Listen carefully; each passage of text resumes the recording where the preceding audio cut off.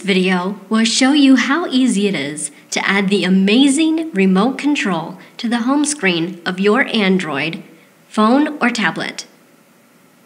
From the home page of your bell ringing system, choose Remote.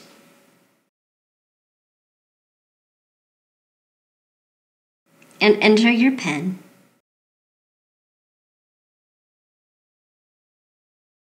Use a QR Reader app on your Android to scan the displayed QR code.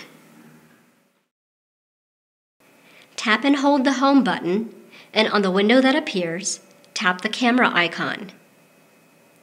Frame and focus the QR code. You don't have to snap a picture. Tap the link displayed on your phone to open the remote.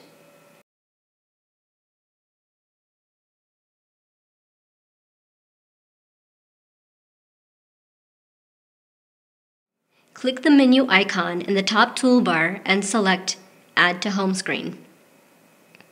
You may edit the title of the app, then click Add.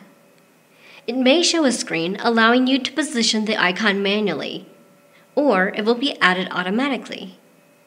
You will see the bell icon as your new app. The remote will be ready to use each time you open the app as long as both the Android device and the ringing system are connected to the internet.